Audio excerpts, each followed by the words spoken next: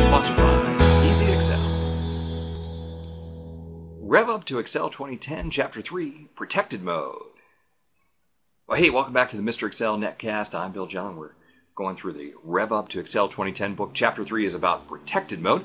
Now, if you have a question for the podcast, you can shoot us a note, uh, bill at mrexcel.com. We'll get to you. Protected mode is an interesting uh, new thing in Excel 2010.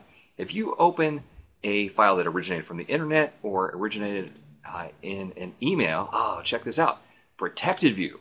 This file uh, might be unsafe. Now, before they used to say, hey, are you sure you want to open this? Well, this is really cool. They've now opened this file in, let's call it a sandbox, which allows me to go through each tab, see what's there. I could even go back to the developer tab and look to see in Visual Basic if there's any macros. Now, there aren't in this particular one, so that's not necessarily an issue, uh, but you get to see exactly what's in the workbook before uh, you actually have uh, an ability for it to do anything bad. Now, if you decide, okay, well, this is harmless, I know who sent this to me, it came from Mike, uh, you know, let's just uh, enable editing, then it reopens and you have full access to it. Protected mode, uh, great, great new feature in Excel 2010 to protect you from people who are trying to do something malicious to your computer.